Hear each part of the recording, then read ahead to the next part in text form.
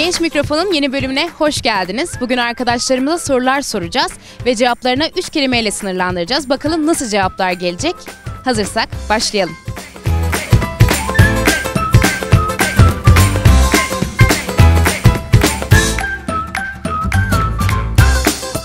Süleyman Demirel Üniversitesi'nde en çok vakit geçirdiğin yeri 3 kelimeyle anlatacak olsan bu 3 kelime ne olurdu? Eğlence, arkadaşlık, çay. GSF kantini ülke. Evet. Açık alan, oksijen var. En sevdiğim arkadaşlarım var yanımda. Cam, kafe, kütüphane.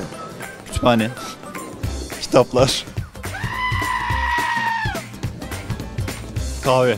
Çok ders çalışıyorsun galiba. Finallere de az kaldı zaten. Kesinlikle. Ve bütler. Ayrıca bütler de var. 3 katlı büyük sınıflar, çok sayıda ışık desem. Ee, çay, kahve, tavla.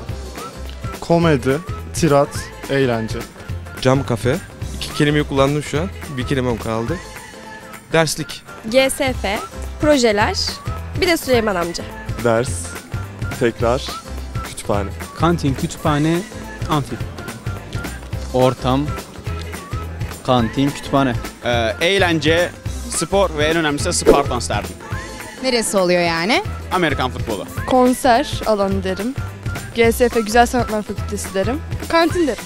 Çimler, kantin, çay. GSF kantinde daha çok vakit geçiriyorsun yani. Evet. En sevdiğin oyunu 3 kelimeyle anlatır mısın? Eğlence, arkadaşlık ve birazcık sinir olma diyebilirim. Sinir olma. Evet. Takım oyunu mu? Evet takım oyunu olduğu için. LOL desem. Evet doğru. Aile kuruyorsun. Oynaması çok kolay ve şu an biraz pahalı. Sims. Evet.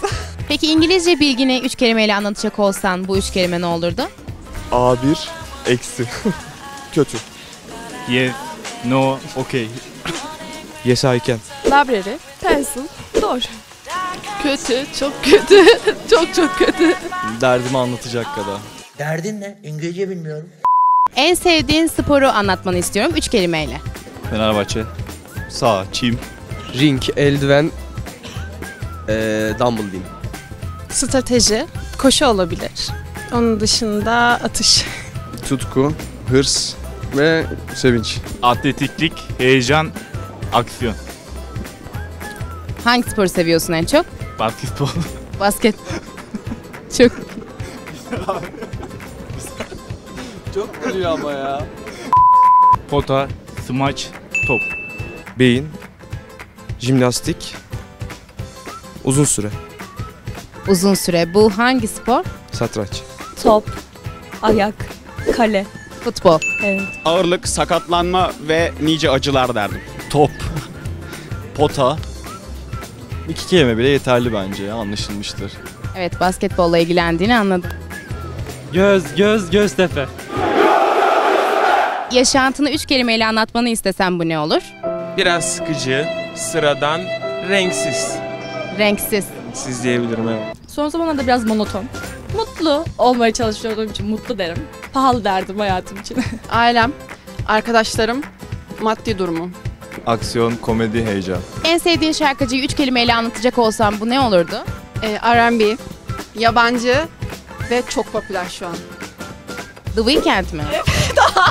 Onun da bir aile sıcaklığı olduğu için aile derdim o da. Aile her şeydir.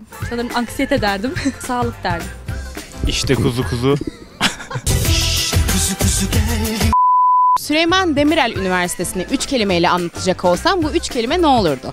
E, Isparta olur, öğrenciler olur, yeşillikler olur sanırım. Güller, Süleyman Demirel heykeli, kalabalık bir kampüs. Ders. Burada da spora gidiyorum. Spor diyebilirim. Ve yine aktivite diyebilirim ya. Ortam, arkadaşlık, dersler. Sevecenlik, aile, okul olurdu. Eğitim, başarı, makine. Eğlence, eğitim, güzel arkadaşlıklar. Başarı, kolaylık, eğlence.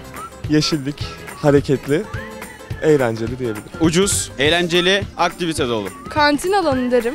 Öğrenci kapasitesi derim ve eğitimi derim. İlham veren üniversite. It's the one and only Digo Double G.